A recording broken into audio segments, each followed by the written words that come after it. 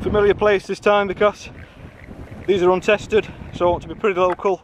So the first stop will be White Edge um, just to see if I have these um, weatherproofs are performing well. If they're not I can turn back and it's not too much of a problem. So that's the idea that's the plan. Now I'm going to ring out my poles that are falling down. Um, compact poles then eventually went with these. I got some help from Gillian. Um, one minute. Oh I've forgotten. Gillian 3612 maybe. I'll put it on the screen now. Where I'll put it there. Um, thank you for these. Are asking about and of course I got about 50 different recommendations so I went with my own. Um, I went with these. Gillian Adam I asked her about them We in the hour. She, would, she were emailing me back telling me what she thought. So thanks again Gillian um, Fizan Compact excellent. Very happy with these. Just put a bit of high vis tape on them just in case at the bottoms. So right we'll crack on because I'm rambling now. Reach the top. My arm's wet through. Look at this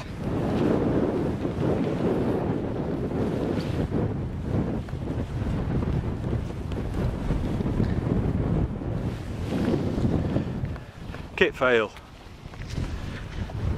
Spent a lot on this and all. Garbage. First time it's been Arctic rain. Not to do with DWR finish. My arm's wet through. Soaked straight through look.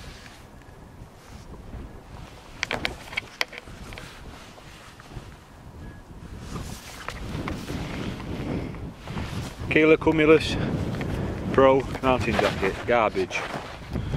Look at this. That's the back and the arm, it's been in alt rain. Sodden. Wet through. It is heavy and all. The way down to cuff. So it's going back. Back up. I've got me Under Armour hat. Um, I've got my base layers of Rab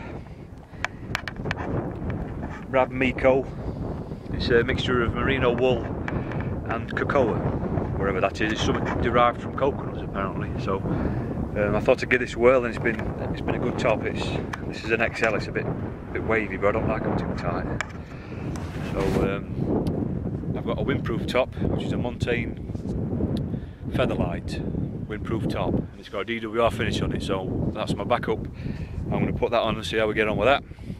Um, the last time I came out, no, the first time I came up on the moors, I asked about windproof tops. And uh, straight away, Mark, Sheb Suit, how you doing mate?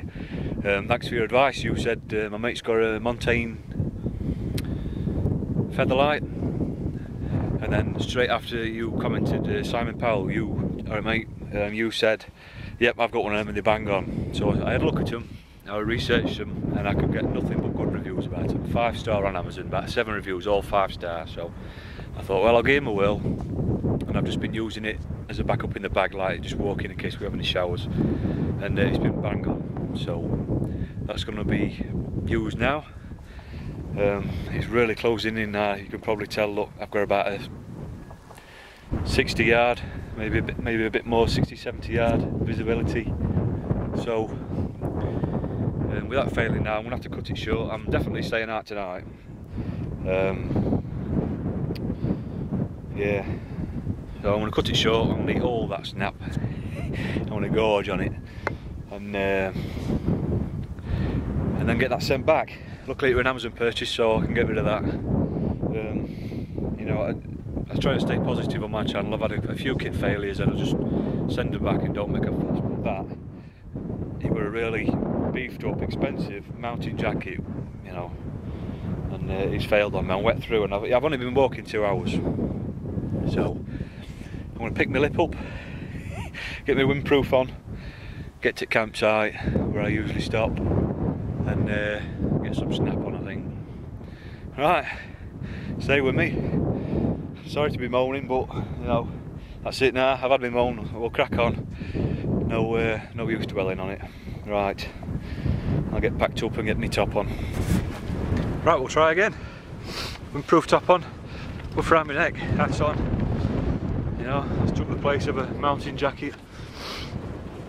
Whew, it's cold up here, tell you. Right, we'll carry on. There we go. I tell you, that's perfect You know, Osprey rain cover. Not a drop on bag. Not a drop. You can pick that up. Stag's rutting.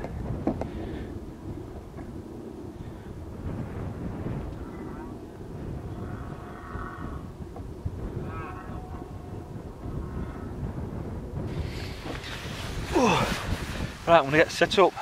Just a few tweaks I've done with my Akto and all I can show you when I roll it up. Top right hand side I've put a bit of orange paracord so I know that's that side.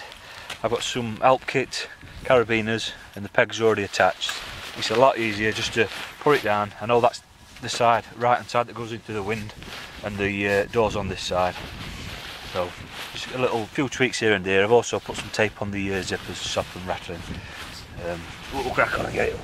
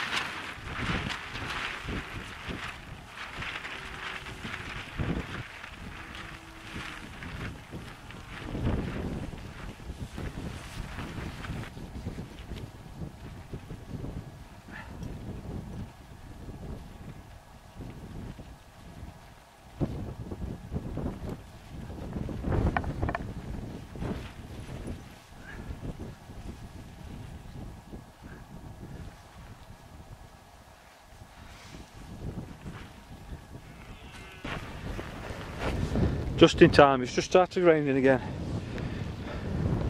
Nicely set up nice and taut. Can't keep that bloody door open I've just used a pair of pegs. I don't know whether there's a a flap somewhere or something that I ain't got or something but I can't find it. It don't stay up. That's the only one I can find on it down here so. Does the job I've gone round the uh, the zippers with some Gorilla tape. Just cut them round like that. No flapping, no tapping. Yeah, that's it then. Right, gonna get some snap on. About that for timing. It's coming a bit now. Perfect, just what I want, a nice test fit Akto. So, right, let's get some snap on.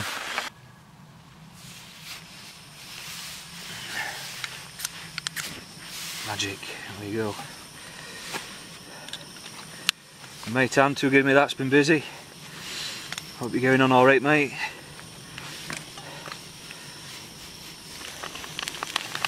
These valley meatballs. It's a bit juicy.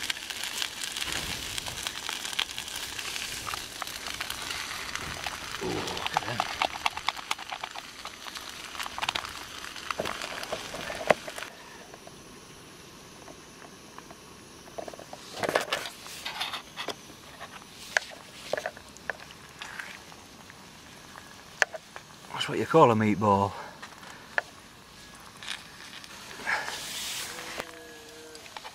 Can, can you hear them bloody deer? Clearing up a little bit over there, I'll to see them in a bit. Right. Tees Valley meatballs and Mexican rice. Oh, good enough to eat that.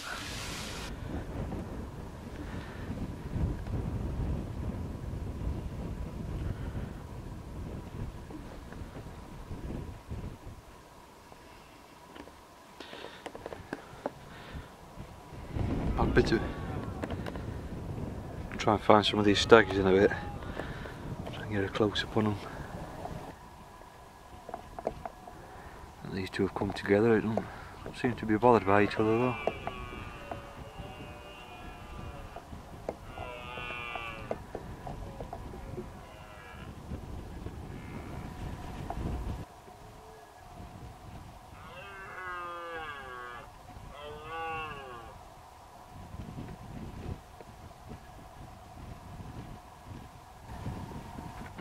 These these ones, you can tell with antlers.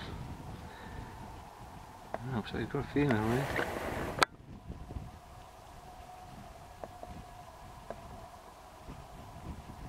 Two.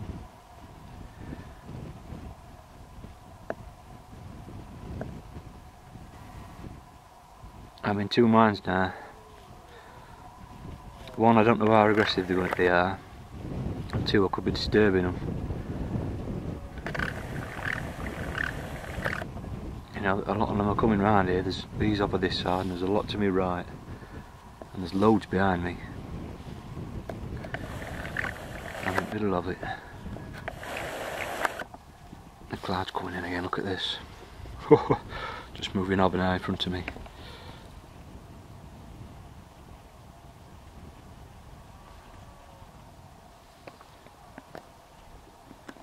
If you can see these and all, these are these are peculiar creatures. These.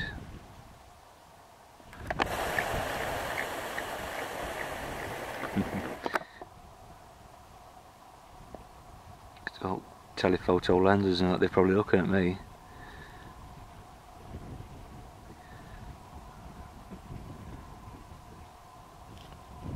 They've got some gear up there, I bet they can count whiskers on my chin, them lot.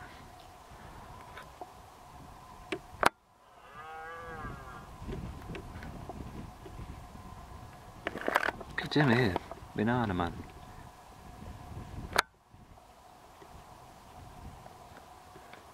That's Froggatt and Curbar Edge that.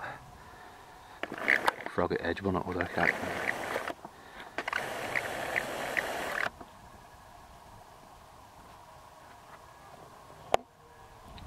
Yeah, I'm getting more and more round to idea of shifting. Failed wild camp.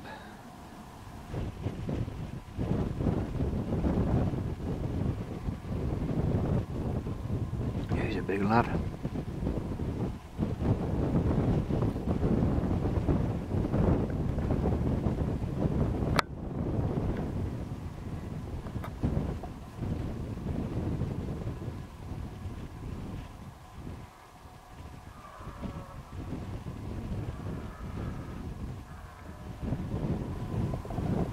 She is, Jezebel. That's who they've got their eye on.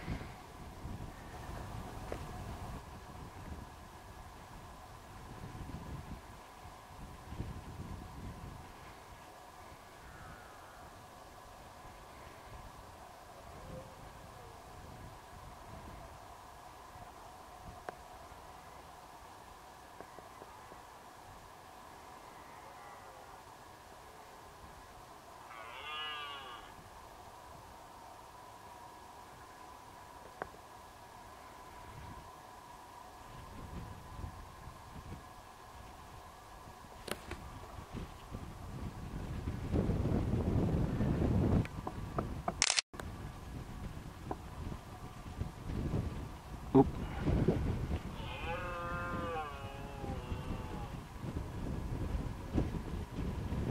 That's a big animal that. Oh. Go on lad, Gary, go on that's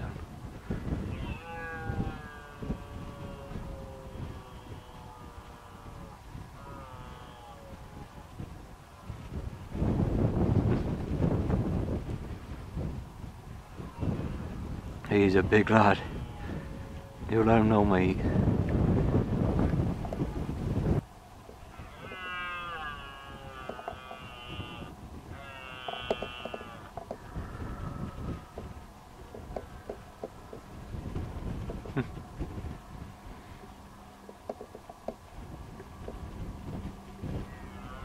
I think I'm going to bottle it.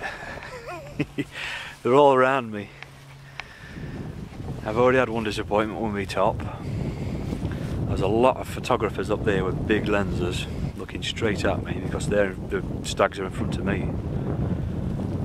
The cows are moving in. You know how inquisitive they are. It's not so much I'm worried about getting punctured. it's more about my end and my nice new tattle. And that has been going on for the last three hours. I don't know if they're going to be doing it all night and all. So I'm bottling it. Ah well. Uh, at least I don't fib and say my battery caught out. my battery went... Yeah, look at all that coming in there. I can see rain moving in front of me here. Yeah. A bit more wild than I like really. There's more there. There's there. I've got cows and I've got three stags there and I've got people watching me on top and I don't like that. I don't like people watching me unless it's you a lot. yeah, I'm to pack up, I'm to go on with my tail between my legs. But you know, I've got some nice footage, there's some stags there. I found out that my top's crap and it's going back. So Ah well, I'm getting a lot of questions on where I'm where I am and what I'm doing. I've been going out. I just it's a heavy this camera. I've got a big bulky camera and I had some new gear that I weren't sure about. So I thought I'd bring camera this time when I come and, and I've ended up bottling it. So I've got to think of a, a name for video now. We'll try and splice a video together and then come up with a name for it. Actually, it's not that I'm scared of great big antlers. It's that I want to leave them in peace, you see. I want to leave them to the stuff. And I don't want to impede on nature. now, know to do with them great big antlers. They are not afraid at all. And they're, they're coming closer and closer. So, yep, that's it. I'm going to bottle it. Right, I'll get you back for another one hopefully. Um, I'll find out when the rutting stops. I did actually see a sign that saying they were rut rutting. And uh, five pound for a group to go and listen to him rut. And yeah, five pound? I bet that's all they're doing on tops there. And they're half a mile away. and I've got them at bottom of the hill. They're note. That's wild camping for you. Listen to it, that's going to be all night I can tell. I don't want that.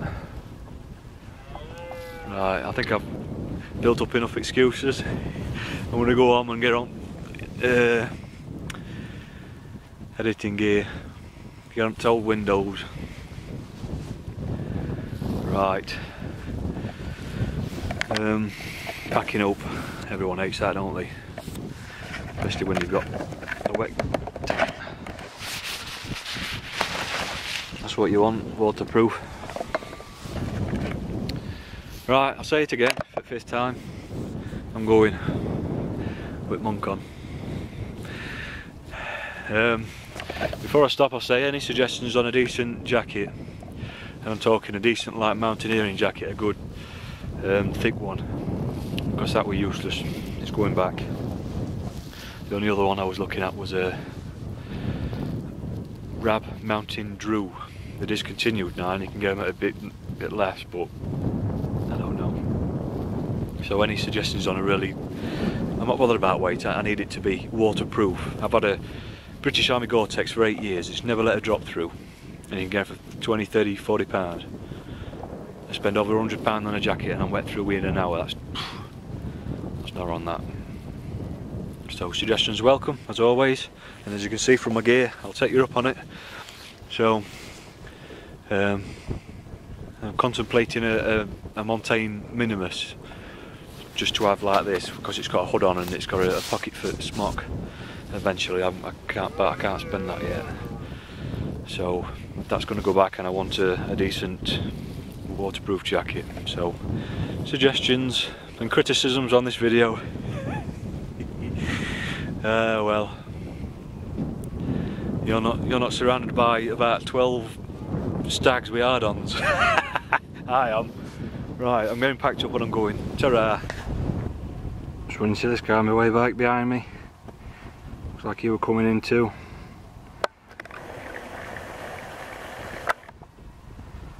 Pretty close that one. I'm not bothered though, easy. They're confident.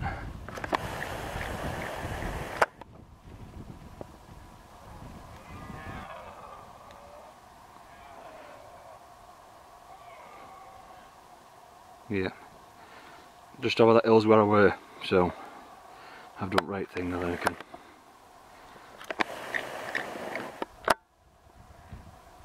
Just see his head. Yep. Oh.